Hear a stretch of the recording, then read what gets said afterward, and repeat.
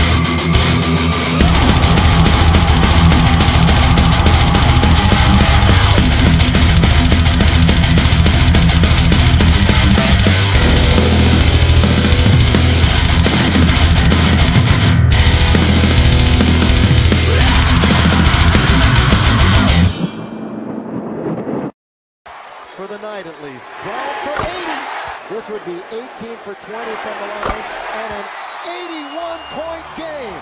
55 in the second half. Ladies and gentlemen, you have witnessed the second greatest scoring performance in NBA history.